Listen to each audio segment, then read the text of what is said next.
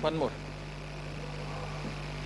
Fear and anxiety in the minds of Goan tourist taxi drivers and owners for depriving them of their daily bread due to private rent-a-car business. Our Goan tourist taxi operators are known in the world for providing friendly tourist taxi services in Goa and getting their daily bread for their families.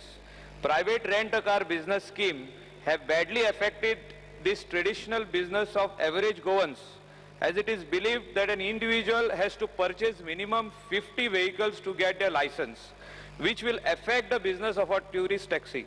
It is requested to discontinue further registration of private rent-a-car scheme and protect our traditional tourist taxi owners' right for their livelihood. तुम्ही उत्तर देतात The very serious issue as far as Goa is concerned, and we will work out something on this. Speaker sir, last time we assurance dille 50 vehicles were only there. Now there are 150 vehicles registered. Issue is over. Please. Yes.